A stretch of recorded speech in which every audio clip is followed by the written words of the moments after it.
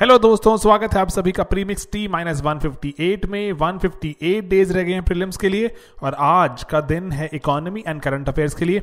ये कुछ टॉपिक्स हैं जिन पर हम हम बात करेंगे आज टोटल अपने प्रीमिक्स में। एंड जो प्रीलिम्स पर चाहते हैं डेडिकेटेड एक फोकस करना, सभी लोग साथ चले हुए हैं, साथ जुड़े हुए हैं हमारे। कौन सा प्रोग्राम है? Pre par pre par with prepare सुबह सुबह आपको टारगेट्स मिलने शुरू हो चुके हैं उसमें। Day zero day one day two आज डे टू था तो डे टू के टारगेट से ग्रेजुअली आप भी रियलाइज़ करेंगे टारगेट थोड़ा अचीवेबल हैं डुएबल हैं। Let's just let's just keep moving along all right दोस्तों तो ये है हमारा जो आज का premix dedicated to economy and current affairs चलिए आइए करते हैं शुरुआत।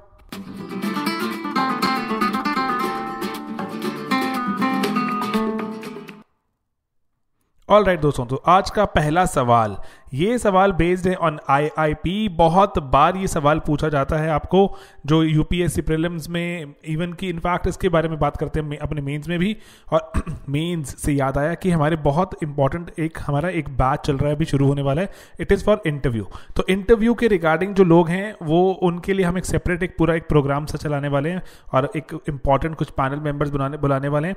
तो जो प्रिलिम्स वाले लोग हैं, उनके लिए बहुत इंपॉर्टेंट है कि नेक्स्ट ईयर वो भी इस जगह पर हों, और अपने आप को मोटिवेटेड रखिए, ठीक है? तो क्योंकि ग्रेजुअल एक एक स्टेज करके वहाँ पहुँचना है तो पहुँचना है। ये सोच लीजिए तो दैट्स इट ठीक है? तो कुछ मेहनत करनी पड़ेगी, कुछ प्रोसेस से गुजरना पड़ेगा तो उसी का पार्ट है हमारा प्री लिम्स भी। आइए तो आईआईपी के बारे में बताइए मुझे पहले कि पहला, ये मिनिस्ट्री ऑफ़ इंडस्ट्रीज़ द्वारा रिलीज़ किया जाता है। दूसरा, ये आईआईपी इंडेक्स दो तरह से क्लासिफाई हो सकता है, एक सेक्टर वाइज और एक यूज़ बेस्ड तो आप मुझे बताइए इसमें से कौन सी कौन सी बातें हैं करेक्ट क्यों इस पर एक डिटेल्ड वीडियो बनाया है हमने आईआईपी पर। जिसमें एक छोटी सी करेक्शन भी थी, शुरू में डाल दी हमने कमेंट्स में।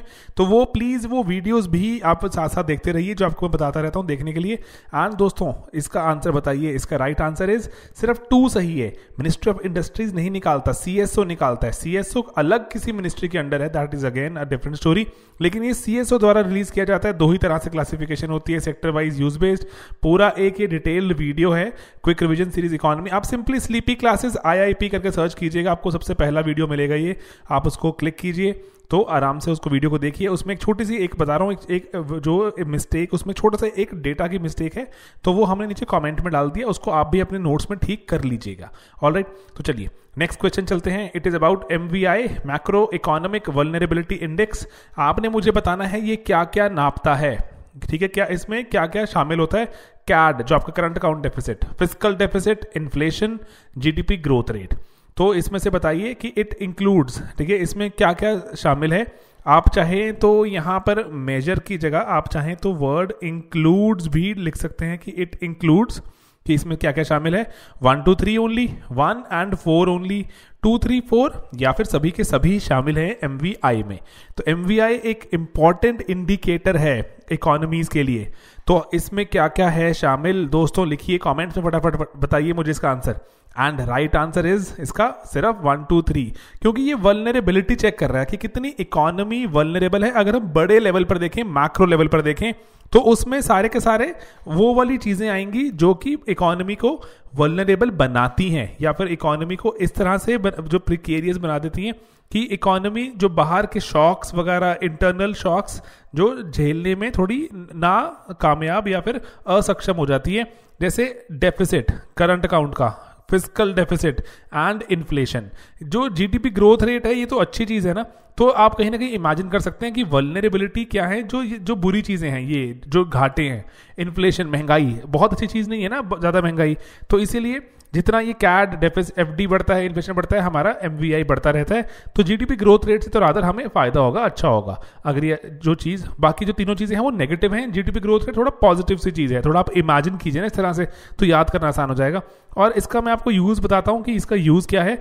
ये ये जो कंट्रीज़ को कंपेयर करने में हेल्प करता है कि कौन सी कंट्री कितना सॉलिड है, कितना मज़बूत है उसकी इकोनॉमी उसके धरोहर। है ना? ये जो इकोनॉमिक जो अगर हम फाउंडेशंस देखें, कितनी कितनी मज़बूत हैं। तो जैसे एक फ्रेजाइल फाइव कंट्रीज़ हुआ करती थी, जिसमें भारत भी शामिल था। 2014-15 की रिपोर्ट है। भारत भी उसमें शामिल था, क्योंकि इंडिया का कैड फ़िज़िकल डेफिसिट दोनों ही काफ़ी ज़्यादा हाई थे। एंड इन्फ्लेशन भी इंडिया की 2013 में बहुत हाई थी तो फ्रेजाइल फाइव इंडिया भी फ्रेजाइल फाइव से बाहर है तो क्योंकि थोड़ा सा जो हमारे मैक्रो इकोनॉमिक इंडिकेटर थोड़े बेटर हैं अभी। ऑलरेडी कैड की दिक्कत एफडी की दिक्कत है डेफिनेटली लेकिन थोड़ी सी रिलेटिवली अभी बाकी पाँच कंट्रीज़ में से देखें तो हमारी थोड़ी बेटर हालात हैं। Brazil, India, Indonesia, South Africa Turkey ये शामिल थे। ऑलरेडी दोस्तों तो next question it is about नामा इलेवन ग्रुप आपने मुझे बताना है नामा इलेवन किस कॉन्टेक्स्ट में यूज़ किया जाता है? ये एम से जुड़ा हुआ है या इंटरनेशनल एनर्जी एजेंसी या वर्ल्ड इकोनॉमिक फोरम या वर्ल्ड ट्रेड ऑर्गेनाइजेशन तो इनमें से किसके साथ नामा इलेवन जुड़ा है? अगर आपने हमारे वीडियोस देखे तो ये सवाल आपको आता होगा। एंड अगर वीडियोस नहीं देखे इकोनॉमी के, उसके बियॉन्ड भी अगर आप जैसे अपने लेवल पे रमेश सिंह पढ़ते हैं, कुछ भी जो बुक पढ़ते हैं तो आपको तब भी ये सवाल आता होगा। तो ये न्यूज़ में भी रहता है। तो लेकिन स्टिल ऐसे कुछ एक स्टैटिक और करंट का मिक्सचर वाली एक चीज़ है तो दोस्तों उसका right answer right answer is W WTO में एक सेपरेट तरह का एक हमारे पास जैसे दोहा राउंड हुआ था नेगोशिएशंस का, जहाँ पर बहुत सारी चीज़ें नेगोशिएट की गई थी। उसी में एक नामा की बात दी हुई थी। नामा का मतलब होता है नॉन एग्रीकल्चरल मार्केट एक्सेस कि हमने WTO पे वैसे बहुत ही डिटेल्ड वीडियो डाला है। आप अगेन आज का होमवर्क बना लीजिए। कि स्लीपी क्लासेस प्लस डब्ल्यू लिखिए, बहुत ज़्यादा डिटेल्ड वीडियो है उसको देखिए। बहुत सारे लोगों ने हमें बताया कि वो उससे ज़्यादा डिटेल्ड वीडियो WTO का उन्होंने नहीं देखा अभी तक। तो मैं आपको सिर्फ़ इसलिए बता रहा हूँ कि आप देख लीजिए, और किसी ने देख लिया, अगर आपने नहीं देखा तो रिलेटिव एडवांटेज है उसके पास। आप भी ये एडवांटेज लीजिए। ठीक है? तो नामा नॉन एग्रीकल्चरल मार्केट एक्सेस ठीक है? जो ऐसी चीज़ों का एक्सेस जैसे डेवलपिंग कंट्रीज़ हैं, वो कहीं भी जो डेवलपिंग कंट्री चाहती हैं कि डेवलप्ड कंट्रीज़ है ना? जो डेवलपिंग मैं लिख के बताता हूँ डेवलपिंग कंट्री चाहती हैं कि उनको डेवलप्ड कंट्रीज़ में जो डेवलप हो चुकी हैं, अमीर कंट्रीज़ हैं, उनमें एक्सेस मिले उनकी मार्केट का, ताकि ये डेवलपिंग कंट्रीज़ यहाँ पर अपना सामान बेच पाएँ और बिना किसी रिस्ट्रिक्शन के। तो कौन सा सामान की बात हो रही है? नॉन एग्रीकल्चरल वाले सामान की बात हो रही है। उसका मार्केट का एक्सेस चाहते हैं वो डेवलप्ड कंट्रीज़ में तो इसी को लेकर नेगोशिएशन थी कि इनको डेवलपिंग डेवलपिंग कंट्रीज़ को कोई रोक टोक ना हो एक्सपोर्ट करने की। जितना भी नॉन एग्रीकल्चर सामान हो, वो डेवलप्ड को ये बेच पाए बिना किसी रोक टोक के, और फ्लेक्सिबिलिटीज हो डेवलपिंग कंट्री के पास, और बैलेंस भी रहे, क्योंकि बहुत सारी ऐसी चीज़ें हैं जो कि अभी डेवलपिंग कंट्री डेवलप्ड को नहीं बेच पाती। तो अगर उनको मार्केट एक्सेस अच्छा मिल जाएगा, जैसे हमारी, जैसे इंडिया भी इसका पार्ट है, नामा इलेवन का ये सब मिलकर डब्ल्यूटीओ में दबाव चाहते हैं बनाना डेवलप्ड कंट्रीज़ पर कि इनको मार्केट एक्सेस मिले, ठीक है? ताकि जो टैरिफ्स वगैरह हैं, जो ये सभी कुछ एलिमिनेट किए जा सकें एक्सपोर्टेबल गुड्स पर। ऑल राइट तो ताकि डेवलपिंग कंट्रीज़ के फ़ायदे की बात हो तो इसे सभी इकट्ठे होकर चाहते हैं दबाव बनाना। और क्योंकि वो कहते हैं कि जो नामा प्रोडक्ट्स हैं, वो दुनिया के जितने भी ट्रेड है हो रहा है एक्सपोर्ट का, उसका नब्बे प्रतिशत है।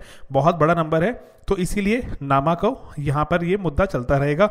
अभी भी ये ऑन प्रोसेस ही है, दोहा नेगोशिएशन आपको 2016 में मेंस में भी यूपीएससी ने पूछा दोहा के बारे में।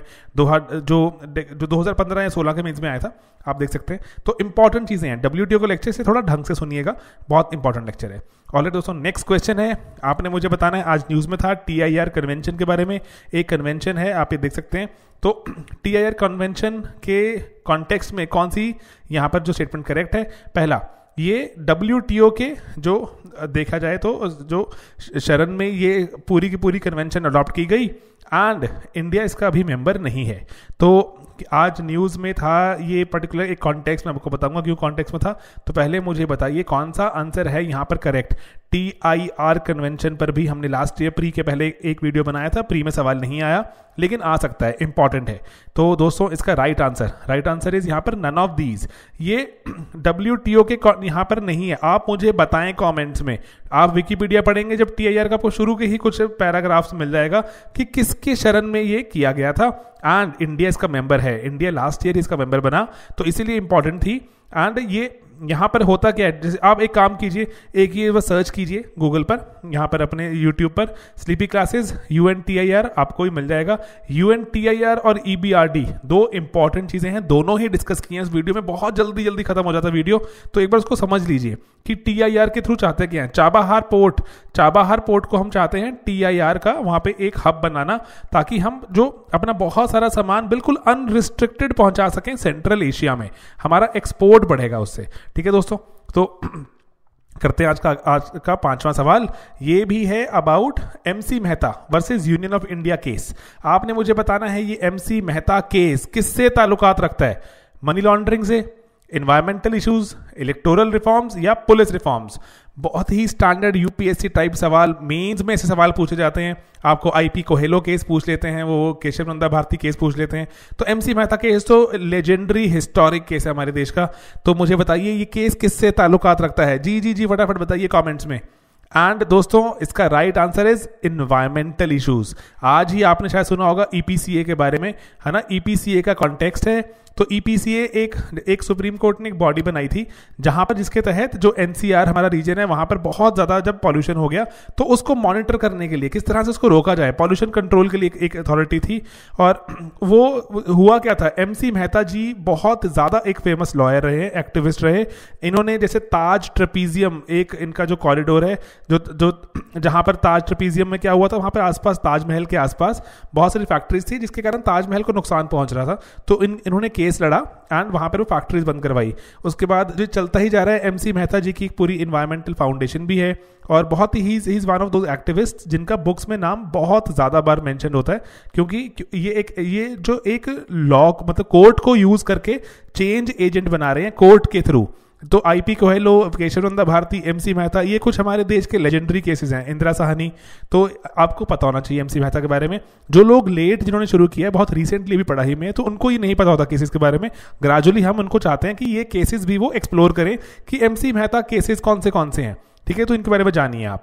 इन्वायरमेंटल इशू से जुड़े हुए हैं ये। अगला सवाल करते हैं and it is in context of I P V four आप जो मुझे बताइए इंटरनेट प्रोटोकॉल वी फोर जो वर्जन फोर है, उसके कॉन्टेक्स्ट में कौन सी स्टेटमेंट ट्रू है? क्योंकि अभी स्नूपिंग वगैरह, ये वो के चक्कर चल रहे हैं अभी।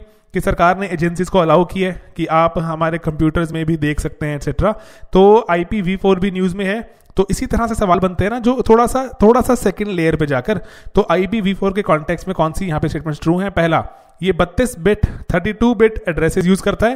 एंड ये डायनामिक एड्रेसेस यूज़ करता है, जो कि एजेंसीज के लिए थोड़ा काम आसान कर देते हैं लोकेशन वगैरह ढूंढना। ठीक है दोस्तों? तो यहाँ पे दो इन्फॉर्मेशन है कि एक तो 32 बिट वाला एक डायनामिक एड्रेसेस यूज़ करता है कि नहीं करता, क्या ये बात सही है? और ये क्या ये इजी करता है या डिफ़िकल्ट करता है एजेंसीज के लिए काम? तो आपको ये देखना है। तो बताइए मुझे यहाँ पे स्टेटमेंट्स कौन सी कौन सी सही है? तो थ्री ओनली नहीं, ये बोथ है यहाँ पे प्लीज़ सही कर लीजिएगा कि कि one only two only both या फिर इसको जो हमारा स्टैंडर्ड होता है, ये है नन ऑफ़ दीज ठीक है दोस्तों? तो वन टू बोथ नन तो यहाँ पे कौन सी ऑप्शन रहेगी यहाँ पर सही? तो बताइए इसका आंसर दोस्तों। एंड इसका राइट right आंसर इसका राइट right आंसर है, सिर्फ़ वन ही करेक्ट है। यहाँ पर one only is the right answer और ये डायनामिक एड्रेसेस हैं कि जब जब भी आईपी जब आपकी एजेंसी अगर आपको ट्रैक कर रही होगी तो आईपी वी फोर के कारण क्या होता है कि आपका एड्रेस बहुत डायनामिक रहता है।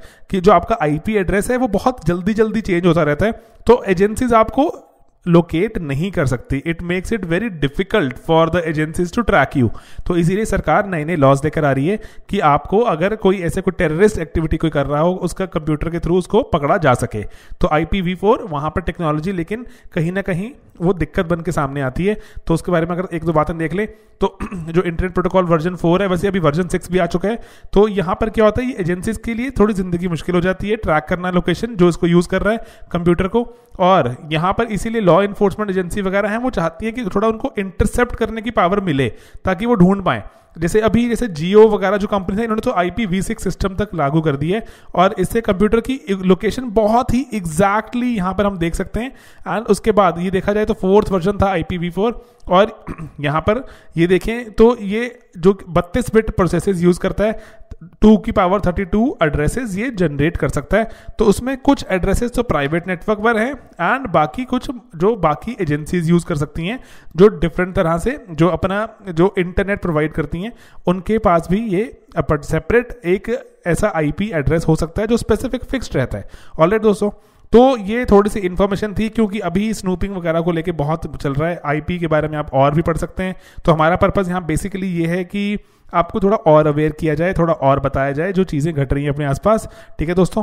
तो बस एक सिंपल सी चीज़ है, आपने अगर मूवी देखी हो the edge the edge movie में एक वो डायलॉग है जब वो बहुत ही भयंकर सिचुएशन में होते हैं और वहाँ पर उनको लगता है कोई एस्केप नहीं है, लेकिन वो बात याद करते हैं कि किसी इंसान की, कि उसने ऐसा किया था। तो लेकिन वहाँ पर जो बैठे होते हैं, वो कहते हैं कि हम नहीं कर सकते ऐसा। तो उनमें से कोई एक इंसान बोलता है if one man can do it another can do it too कि एक इंसान अगर ये लाइफ में कोई चीज़ कर सकता है तो दूसरा भी कर सकता है। तो ये बात हमेशा याद रखनी है यूपीएससी एस्पिरेंट्स के लिए तो बहुत ज़रूरी है। जब वो देखते हैं कि इतने लाख लोगों ने फॉर्म भरा, पता नहीं कितने लाख लोगों ने फॉर्म भरा, उसमें से कितनी सीट्स हैं सिर्फ़? सात सौ बयासी सीट्स हैं। तो ये साढ़े सात नंबर ऑफ़ सीट्स के लिए इतनी लड़ाई, इतने लाख तो इनमें से भी किसी का रैंक आएगा ना, इनमें से भी किसी की कॉल आएगी इंटरव्यू की, उनका रैंक आएगा। तो अगर वो एक इंसान कर सकता है तो इनमें से भी कोई भी कर सकता है, अगर वो अपनी पूरे कर्तव्य, निष्ठा समथिंग समथिंग से काम करे। तो बिल्कुल देखो फोकस होकर काम करना है डेडिकेटेड होकर काम करना है रोज रोज काम करना है। जिस तरह मतलब सिंपल सी बात है कि जिस तरह रोज नहाना पड़ता है, उसी तरह से रोज यहाँ पर आपको मोटिवेट भी करना बहुत ज़रूरी है।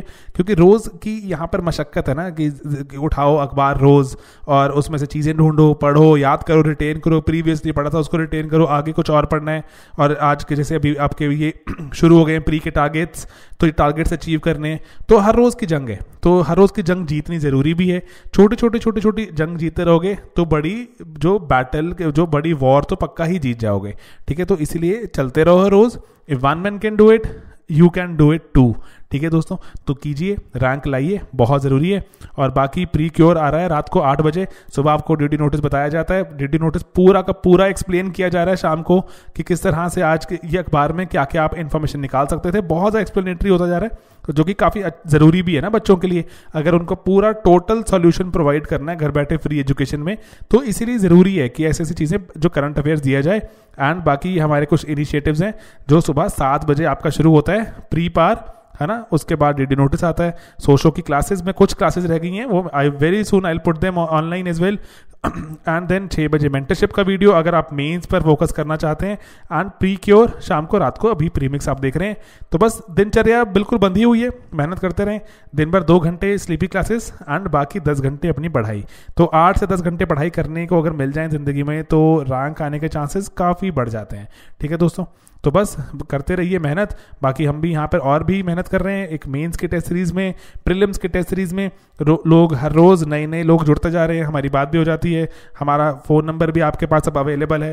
एंड किसी भी तरह से अगर आपको कोई दिक्कत अगर आती है तो वैसे मेल कर दीजिए। लेकिन हाँ अगर लगता है कि मेल में रिजॉल्व नहीं हो पा रहा तो आप डेफिनेटली आप ना you can always always call ठीक है?